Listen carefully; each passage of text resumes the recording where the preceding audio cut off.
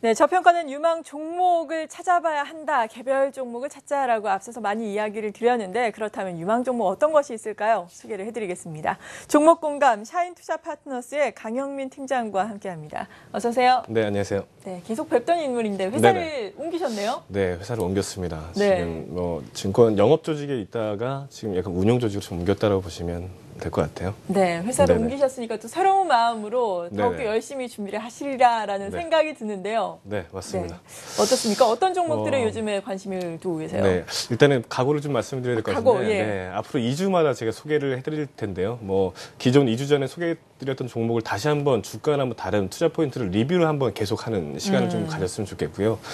뭐 이렇게 열심히 할 수 있도록 좀 노력을 하겠습니다. 네, 오늘 해보겠습니다. 네, 오늘 좀 보안주에 대해서 좀 준비를 했는데. 네.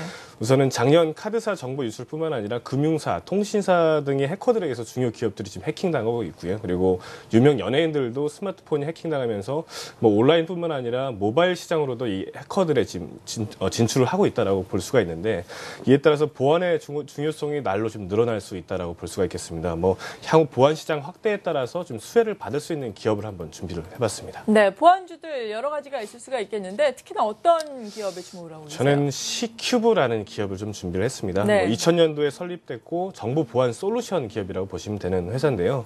우선은 서버 보안 솔루션, 통합 계정 관리, 그리고 통합 로그인 보안 제품 등의 주요 제품 등을 좀 가지고 있고 개인용 공인 인증서 보안 솔루션을 신제품으로 개발하고 있고 모바일 보안 솔루션도 지금 가지고 있는 이런 회사라고 볼 수가 있겠습니다. 네.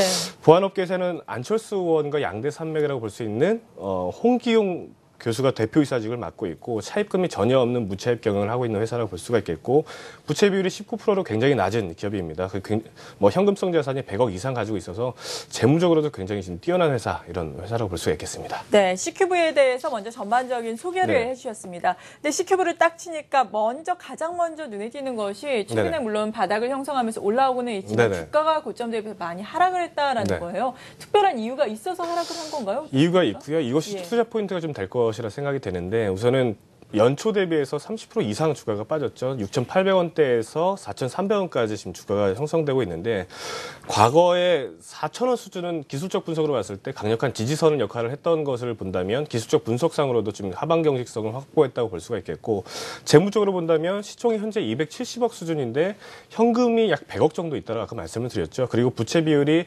40%대에서 올해 지금 19%대까지 지금 내려오면서 부채 비율이 굉장히 좋아진 재무 건전성이 지금 좋아진 회사라고 볼 수가 있겠습니다. 이 두 가지 요인에 의해서 주가는 현 구간이 지금 굉장히 많이 빠진 상황이고 현 구간이 싼 상황이라고 지금 볼 수가 있겠습니다.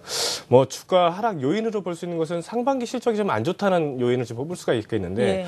아, 이 회사 같은 경우는 공공기관 발주를 좀 많이 받는 회사예요. 공공기관들의 발주를 받는 회사들은 대부분의 매출이 하반기에 지금 어, 집중되게 됩니다. 이 회사 같은 경우도 하반기에 집중이 되기 때문에 뭐 과도하게 빠진 것이다라고 판단할 수 있는 구간이라 생각이 됩니다. 네, 그러니까 포인트를 짚어주셨습니다. 대, 재무적으로 안정적이라는 것이 첫 번째 포인트가 될 수가 있겠고 그리고 실적이 악화되면서 많이 주가가 하락을 했는데 하반기에는 또 실적이 좋아질 수 네네. 있을 것이다라는 점입니다. 그렇다면 실적을 이끌 수 있는 모멘텀 구체적으로 어떤 네네. 게 있을까요? 어, 향후 상승 모멘텀이라고 좀볼 수 있는 부분을 한 가지를 좀 짚어보겠는데요. 네. 우선은 최근 보면 군대에서 여러 사건 사고가 일어나고 있는데 뭐 총기 사건, 구타 사건, 자살 사건 등 여러 네. 가지가 있잖아요.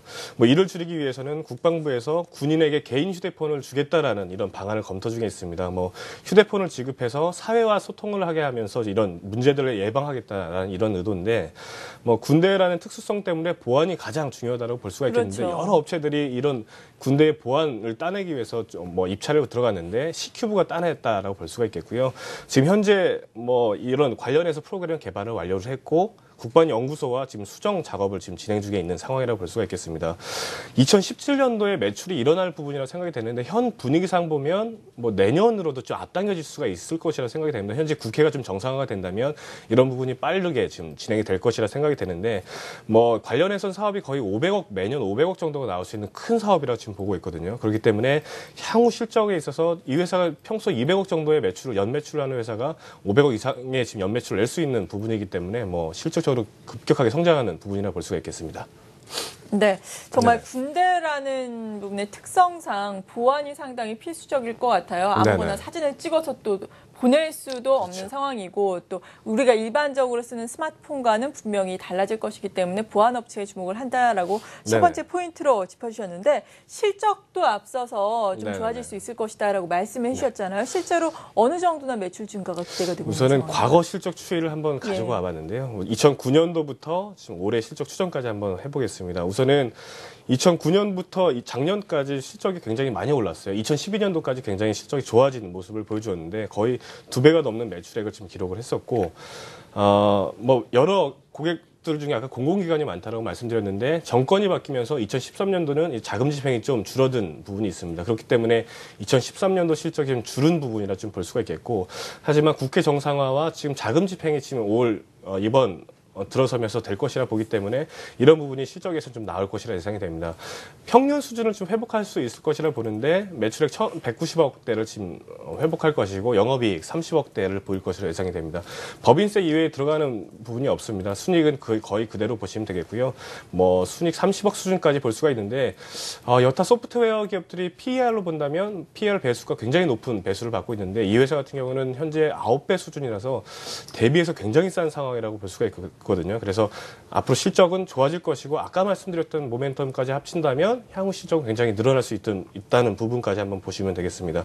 좀 한 가지 짚어야 될 것은 네. 종업원 수가 계속 늘어나고 있거든요. 이 회사는 뭐 공장 같은 회사가 아니고 이런 종업원 수가 소프트웨어를 개발하는 회사이기 때문에 종업원 수가 늘어난다면 이 회사가 늘어 커지고 있다라고 볼 수가 볼 수 있겠습니다. 뭐 2012년도, 2013년도 올해까지 종업원 수가 급격하게 늘어나고 있는데 향후 이런 개발되고 있는 소프트웨어 관련해서 좀 매출이 앞으로 기대가 될 수 있는 부분이라고 볼 수가 있는 부분은 마지막으로 짚어드릴 수 있겠습니다. 네, 그렇군요. 주가도 앞서서 짚어드린 것처럼 이러한 네네. 이슈 때문인지 또 바닥을 짚고 올라오고 있고 또 수급도 비교적 긍정적으로 또 변화를 하고 있는 것이 최근에는 좀 부착이 되고 있는 상황인데 어떤 매매 전략이 지금으로서는 필요할까요? 뭐 결론적으로 buy and hold 전략을 좀 사용하자라고 생각이 드는데요. 네. 우선은 사놓고 좀 기다리자는 전략입니다. 우선은 전저점 부근에서 기술적 분석으로도 지금 현재는 빠- 더 이상 빠지기는 반등 구간이라 볼 수가 있겠고 그리고 아까 말씀드렸던 현금성 자산으로 인해 재무 구조 개선이 지금 이루어지는 부분까지 합친다면 앞으로 주가는 더 이상 빠지지는 않을 것이지만 뭐 오른다는 모멘텀은 아까 말씀드렸던 그 어 뭐 군대 문제 그리고 보안 관련 시장 확대 등으로 인해서 주가는 앞으로 상승 여지가 더 많은 부분이라 볼 수 있어서 언제 갈지 모르지만 향후 기대감이 작용할 수 있을 것이라 보기 때문에 buy and hold 전략을 한번 접근해 보시자 네. 말씀드리겠습니다. 그러니까 사고서 계속해서 지켜보자라는 말씀이신데 네. buy and hold도 좀 기간을 주시면 좋을 것 같아요. 어느 정도까지? 저는 hold를 하면 좋을까요? 2016년도가 군대 관련 문제가 좀 해결이 전 빨리 앞당겨질 거라 보거든요. 예. 올해 안에 내년까지 한번 보신다면 좀 충분히 6천 원 이상까지 볼- 노려볼 수 있지 않을까 생각이 되거든요. 그때까지 네. 한번 지켜보시죠. 네, 지금 현재가가 네. 4,400원 정도의 형성이 되고 있는데